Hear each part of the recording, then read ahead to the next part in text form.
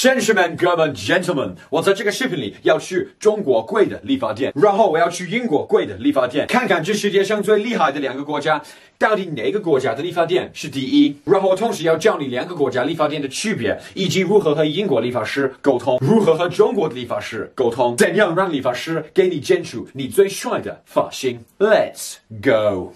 首先，我们去中国贵的理发店，我们去一个有特点的上海店，是一家 barber shop。那么，在中国贵的店一般不用提前预约，在英国不一样，你等一会儿会看到，这里是一个 barber shop，专门给我们男人剪头发。这里真是我们男人的天堂，风景很酷，有小狗，有 whisky 可以喝，音乐都是复古音乐，比如我很喜欢听着 Elvis Presley 的音乐，有一种回到三十四十年代的感觉。这里的价格都是统一的，都是两百八十块。那么这位理发师非常有个性，我是早上来的，刚好可以看到他弄好 mustache。非常帅。OK，你们在我的上一个理发视频，很多评论说，在中国理发就像赌博一样。哥们，我想问你，你这句话同意吗？你有没有发生过这种情况？你到理发店给理发师说，呃，老板给我剪短一点，然后老板说 OK，然后他给你剪一个你不喜欢的发型。哥们，这个你发生过吗？如果你发生过，或者如果你觉得在中国理发就像赌博一样的话，那么我有话告诉你，哥们，You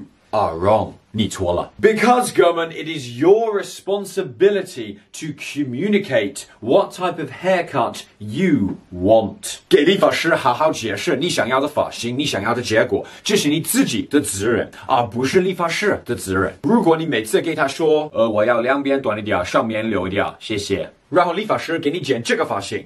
你活该了，哥们！你这么懒，一句话都不给他说，理发师怎么能明白你的想法呢？这是你自己沟通的问题。理发师不会读心术，你要和他好好沟通。我这个老外每次去中国理发店都能解释的很清楚，中国理发师都知道我想要什么，所以我的发型一直很帅。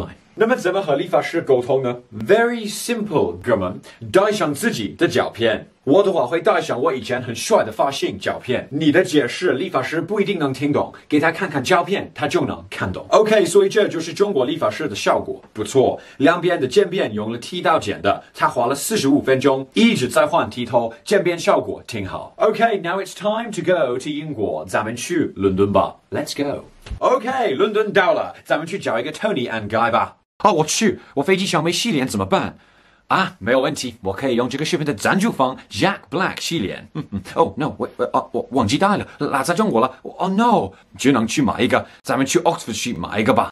哇，你看 Jack Black 有这么多产品，怎么选择适合你脸型呢？Very simple，哥们，干性脸哥们要用双效保湿乳液和纯净日常洁面乳。然后有性恋哥们要用我最喜欢的现场火山洁面泥和 Oil Free Moisturizer。那么我最近脸很干，所以我买了双效保湿乳液。因为我最近皮肤好干，In the cold weather, my skin gets very dry, so this is 必不可少的。特别是早上的时候，我皮肤比较干，所以我每天起来就会用一下它，and then the gan is gone。用完了会有一些金棒感，真的很爽。我买的价格是二十九英镑，这个肯定比你买的价格要贵得多。多，因为英国 Boots 里面用不了好给力的优惠券，但是 Jack Black 的天猫店可以用好给力的优惠券。去 Jack Black 的淘宝店给客服说“好给力”这三个字，就能得到咱们的优惠券。OK，买好了，洗好了，我脸现在舒服多了。Now let's get a haircut。那么我在 Tony and Guy 的网站预定了，网站上有每一个理发师的介绍、价格和时间。我订的理发师是三十二英镑，也。是两百八十多人民币。他先给我洗头发、头部按摩、剪头发前，他给我放了一些我没有见过的 grooming cream。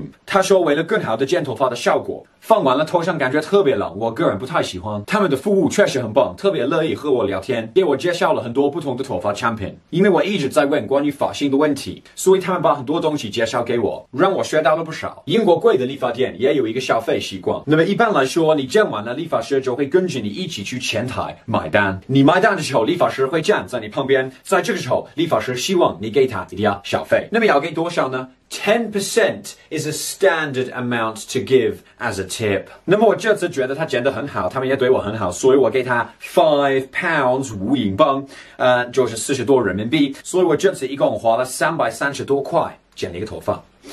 有点贵。那么这是我在英国 Tony Guy 剪的效果，看看吧。说实话，剪得很好，总个 experience 也很好。但是呢，我觉得他们剪的渐变没有中国的好，因为剪渐变的话，barbershop 会多换剃头，所以总会剪得比 salon 效果好。Also，那个中国理发师非常帅，他风格非常有性，呃，而且中国理发店呃没有英国 Tony Guy 那么贵，所以这个视频的结果应该是中国赢了。嗯，但这样我的祖国就输了，不行，我还是有点太爱国了，所以结果就是。A draw，哥们，It's a draw，平了，平了，咱们都赢了，怎么样？OK，就说到这了。那么现在我在我英国的老家，然后我们英国有小费的习惯，So 你们也要给我小费。But I don't want your money，哥们，我不要你的钱，我要你的 tip。I want the tip of your thumb，哥们，小费就是给我点赞。